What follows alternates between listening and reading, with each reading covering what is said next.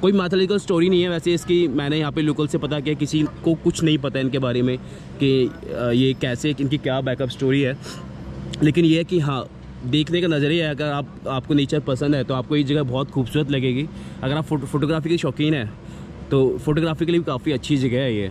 और मैं आपको एक बार बता देता हूँ, देखो ये ऊपर ऊपर दिख रहा है ना, जैसे आपको ये मिट्टी दिख रही है। तो ये इनके अंदर ये शिवलिंग है। तो जब बरसात होती है ना, बरसात की वजह से जब मिट्टी निकलती है, नीचे को आती है तो उसके अंदर से ऐसी ये शेप्स निकलती है यार अभी सीन क्या ना कि सबसे पहले हमने सिम लेनी थी तो सिम ले ली है। वहाँ पे मैंने रिकॉर्ड किया था, लेकिन जो बंदा था ना, जो मतलब सिम दे रहा था, मेरी वीडियो डिलीट मरवा दी, कह रहा है, यार वीडियो डिलीट कर दो। क्योंकि कह रहा ऐसे ना अलाउड नहीं होता। है हम लोग जो आपको सिम देते हैं, वो अपनी आईडी पे देते हैं, क्योंकि आपकी आईडी पे सिम मिलता नहीं है। तो हमें मतलब कोई आईडी वाईडी नहीं दी है। और जो सिम मिली है ना वो मिली है ढाई सौ रुपये उसने लिए आए मतलब आईएनआर इंडियन करेंसी के हिसाब से। यार हम मार्केट में आए थोड़ा सा शॉपिंग करने के लिए और शॉपिंग हमने कर ली है। क्या लिया है? एक तो हमने थोड़ा वाई वाई लिया ना यहाँ पे मैगी नहीं चलता है यहाँ पे यहाँ का अपना एक ब्रांड है वाई वाई करके वही मिलता है यहाँ पे और वही यहाँ के लोग ज़्यादा खाते हैं क्योंकि वो कंपनी भी नेपाली कंपनी है वाई वाई अरे वाह ये तो बड़ी कुरकुरा हो रहा है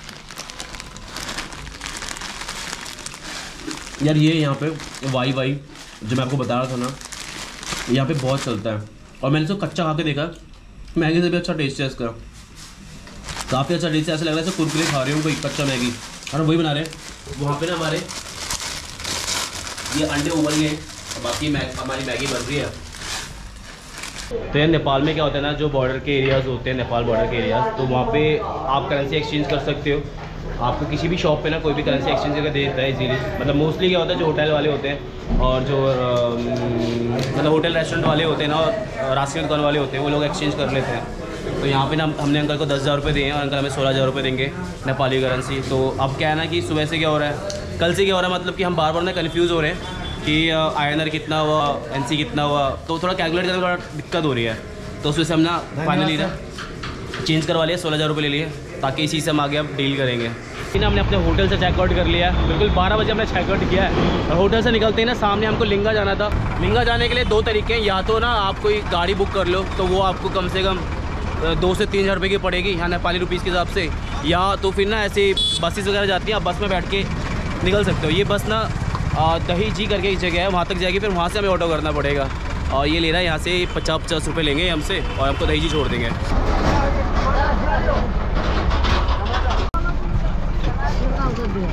बस इतना है हाँ इतना ही है। तो यार, हमें ना महेंद्र नगर में ना शिवलिंगा करके जगह पड़ती है। टूरिस्टिक प्लेस है महेंद्र नगर में। शिवलिंगा क्या है ना, यहाँ पे काफ़ी फ़ेमस जगह है महेंद्र नगर में। एक ही मतलब फ़ेमस टूरिस्टिक प्लेस है शिवलिंगा करके। काफ़ी नेचुरल शिवलिंग है वहाँ पे उस जगह पे। और हम महेंद्र नगर से आए थे मेन महेंद्र नगर में। कल जब रुके थे ना बस स्टॉप के सामने, वहाँ से निकले थे। और वहाँ से हम आए दहीजी तक। दहीजी यहाँ पे एक छोटी मतलब छोटी सी जगह एक सिटी है। वहाँ दहीजी से मतलब दहीजी तक बहुत सारी बसें आती हैं महेंद्र नगर से। अगर आप महेंद्र नगर से सीधा ऑटो करोगे ना तो आपको ढाई तीन हज़ार रुपये वो लेते हैं। लेकिन अगर आप दहीजी आके लोगे तो हमसे ये छः सौ रुपये ले रहे हैं, आने जाने दोनों का। छः सौ हम इसको बुक करके ले जा रहे हैं। तो हमको लेके भी वापस आएँगे ये। फिर वहाँ पर एक बेदकोट जगह पड़ती है, वहाँ भी जाएँगे और हम शिवलिंगा भी जाएँगे। तो आज का दिन हमारा लग रहा है कि हम यही कवर कर पाएँगे दोनों जगह ही। तो चलो यार, चलते हैं। अब बिल्कुल ना जंगल वाला रास्ता स्टार्ट हो गया रोड भी थोड़ी ऐसी धूल मिट्टी वाली।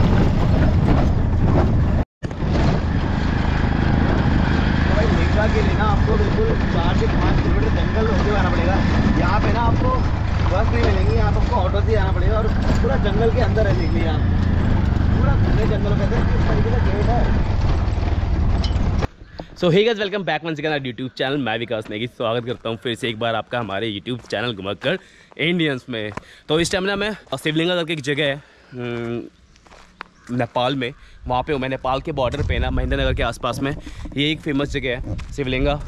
और ये किस किसी मतलब कुछ इस तरह का इसका एंट्री गेट है। और यहाँ पे से ही ना मतलब ये मेन शहर से जहाँ दाई जी से हमने दई जी से हमने ऑटो किया था। ऑटो वाले ने हमें यहीं तक छोड़ा है।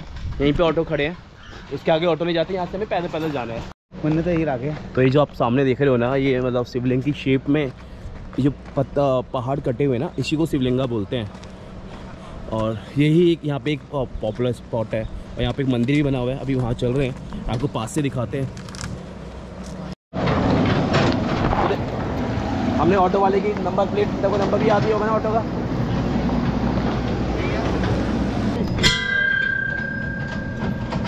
यहाँ के बारे में पता भी तो नहीं है कुछ? तो यार हम ना शिवलिंग आ चुके हैं। हमारे जो आप पीछे देख रहे हैं शिवलिंग की शेप में जो पहाड़ कटे हुए हैं ना इसी को शिवलिंग बोलते हैं। और दूसरा है क्या ना कि यहाँ के बारे में मुझे भी कुछ ज़्यादा नॉलेज है नहीं।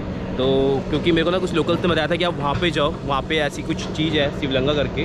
वो एक फ़ेमस स्पॉट है जो टूरिस्ट आते हैं, वहाँ जाते हैं। लेकिन कुछ ज़्यादा पता है नहीं तो इस बारे में आपको ज़्यादा बता नहीं पाऊँगा। लेकिन कुछ लोकल्स हैं यहाँ पे तो बात करने की कोशिश करेंगे जिससे और आपको उनसे पूछ के मैं बताऊँगा कि जगह क्यों फ़ेमस है, क्या इसका महत्व है। तो इस स्ट्रक्चर का थोड़ा सा मैं आपको बैकअप स्टोरी बता देता हूँ कि क्या है। आप देखोगे ना उस तरफ़, पीछे ये जो ये शेप्स बनी हुई हैं तो इनको ना मतलब लोग एज आ इमेजिन करते हैं कि ये शिवलिंग है।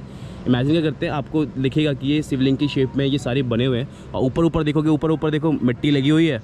लेकिन उस, ये मिट्टी जब बरसात होती है तो ये मिट्टी ना कट कट के ना, ऐसे इनके अंदर ऐसी शेप्स है। मतलब ये शिवलिंग इनके अंदर छुपे हुए हैं। कोई मैथोलॉजिकल स्टोरी नहीं है वैसे इसकी। मैंने यहाँ पे लोकल से पता किया, किसी को कुछ नहीं पता इनके बारे में कि ये कैसे, इनकी क्या बैकअप स्टोरी है। लेकिन ये है कि हाँ देखने का नज़रिया है, अगर आप, आपको नेचर पसंद है तो आपको ये जगह बहुत खूबसूरत लगेगी। अगर आप फ़ोटो फोटोग्राफी के शौकीन है तो फोटोग्राफी के लिए भी काफ़ी अच्छी जगह है ये। और मैं आपको एक बार बता देता हूँ, देखो ये ऊपर ऊपर दिख रहा है ना, जैसे आपको ये मिट्टी दिख रही है। तो ये इनके अंदर ये शिवलिंग है। तो जब बरसात होती है ना, बरसात की वजह से जब मिट्टी निकलती है, नीचे को आती है तो उसके अंदर से ऐसी ये शेप्स निकलती है। आपको उधर दिखेगा, देखो, ऊपर उनके टॉप में मिट्टी है और नीचे ये शिवलिंग जो ये शिवलिंगा है, ये है। और बाकी नहीं, आगे तक आपको मैं दिखा दूँ, ये आगे तक है, काफ़ी आगे तक है। तो ऐसे में पूरे में ये फैले हुए हैं। तो इसकी एक स्टोरी ये भी है कि कुछ टाइम पहले ना यहाँ पे मेरे को एक लोकल बता रहा था कि एक ना हीरोइन थी, यहाँ की नेपाल की लोकल वो ना शूटिंग के लिए आई थी। तो यहाँ ना पहाड़ों में क्या होता है मतलब हमारे उत्तराखंड हो गया, नेपाल हो गया, हिमाचल के हो गया सारे पहाड़ी रीजन्स हैं। यहाँ पे क्या होता है कि यहाँ पे देवी देवता का ना काफ़ी मौजूदगी मानी जाती है।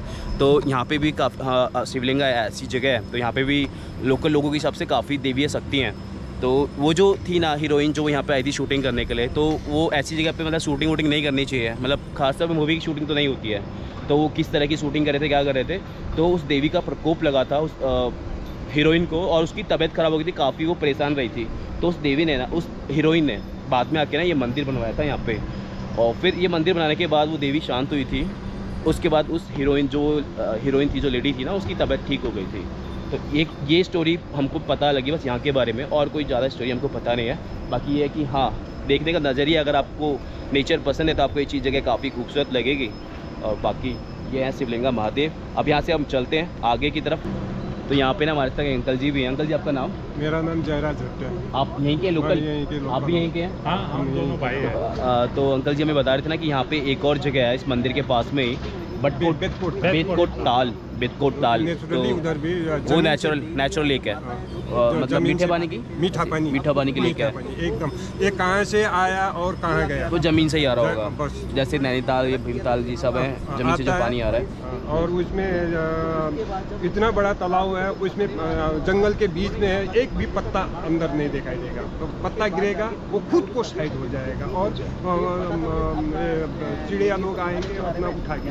पत्ते। पत्ते। अब देख लेना तो कुछ देर के बाद उधर भी जाओ इतना क्लीन और क्लियर है पता नहीं और थोड़ा उधर मच्छी मच्छी है मच्छियों के लिए चारा ले जाओ मच्छी का भी मज़ा से सीन ले सकते हो चलो देख के आते हैं बेतकोट बेतकोट बेतकोट लेक तो यार चलो चलते हैं बाग बाहर हमारा ऑटो वाला वेट कर रहा है उसको हम खोल के आए थे कि हम आते हैं तो चलते हैं अब और बाकी यहाँ पे ये जगह है, अगर आप आ रहे हो ना ये कंचनपुर पड़ता है ना district Kanchanpur Betkot city.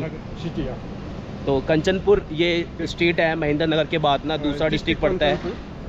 District Kanchanpur और ये महाकाली स्टेट में ये दोनों तो एक ये जगह है अगर आप महेंद्र नगर अगर आप महेंद्र नगर मतलब नेपाल आ रहे हो ना बॉर्डर की साइड से टनकपुर साइड से तो पहले महेंद्र नगर पड़ता है उसके बाद ही कंचनपुर पड़ता हाँ, है दोनों बनबसा हो गया जो भी आए एक बार दर्शन करके ज़रूर जाए हम्म। दर्शन करने लायक की जगह है आओगे ना यहाँ पे तो ऐसा कुछ माहौल आपको दिखेगा पूरा देखो पानी बरसात का का पानी यहाँ से आता हो तो ये एरिया बना पड़ा है।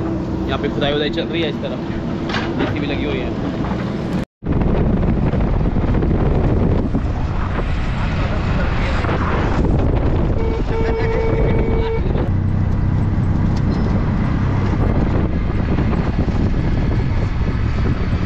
शिवलंगा से हम आ गए थे, उसी ऑटो में, जिस ऑटो में हम गए थे ना, वहाँ से आ गए थे और अभी हम अतरिया नाम की जगह पे हैं एक मार्केट है अतरिया। तो दही जी से हमने ऑटो पकड़ा था, फिर वहाँ से हम अतरिया आए थे। एक्चुअली है क्या ना, थोड़ा ना कन्फ्यूज़ हो रहे हैं कि कहाँ को निकले, क्योंकि कुछ प्लान थे ना हमारे, हमारा लुमनी निकलने का प्लान था।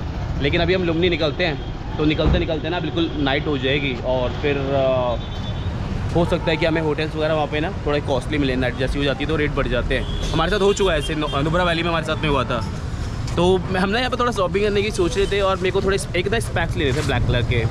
तो है क्या ना, जो कि जो स्पैक्स हमारे यहाँ पे मतलब वही डुप्लीकेट वाले, नकली वाले, जो 200-300 के अपने यहाँ पे मिलते हैं ना मतलब मैक्सिमम प्रीमियम क्वालिटी के मिल जाते हैं 200-300 में।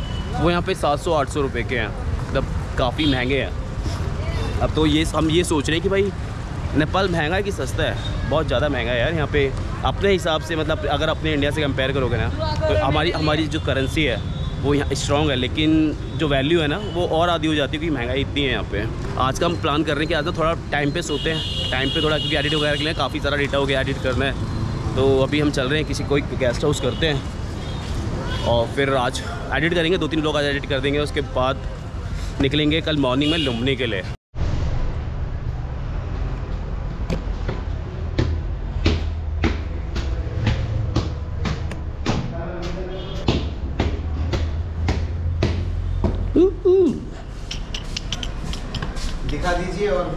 दीजिए पहले तो। तो यार, इस टाइम लगे मतरिया में और हमने यहाँ पे रूम ले लिया है। और रूम हमें मात्र चार सौ मतलब नेपाली रुपीस यानी कि इंडियन रुपीस के साथ तो ढाई सौ रुपये ढाई सौ रुपये का रूम पड़ा।